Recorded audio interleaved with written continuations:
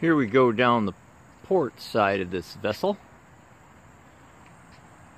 And you can plainly see she's looking pretty good.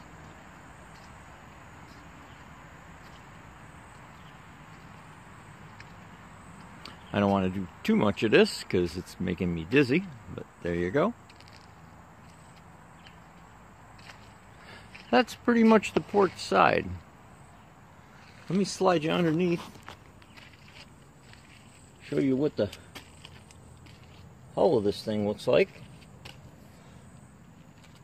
She's never been grounded. Bottom of this boat's in perfect condition. I thought you might like that. Now we'll mosey on over to the starboard. I don't know if this is going to come out as good.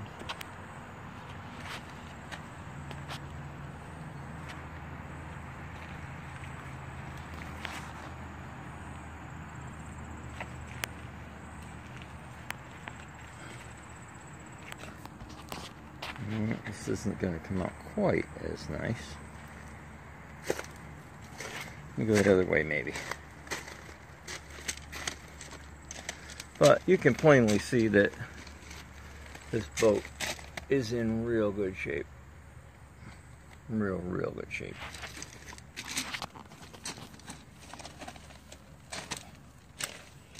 Here's a little peek underneath on the starboard side. You can see that the boat is in excellent condition. I've said this before, and I'll say it again. There isn't a cleaner 271 Fastech in the whole northern part of the United States. There's the deck. Looks like we got a few bugs up here.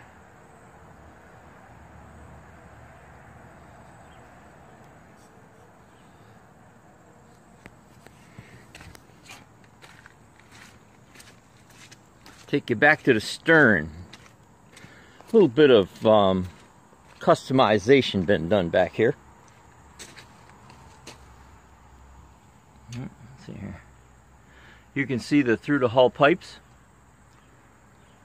She's got uh, regular Mercruiser or Kiekhaefer, whatever you want to call them, trim tabs.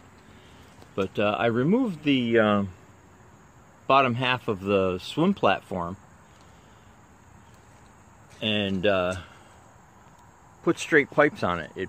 The gaskets between the pipes and the um, and the back portion of the boat were leaking and there was running black gook all over it. So to accomplish that, I put a set of headers on it and uh, ran the pipes right straight through the back.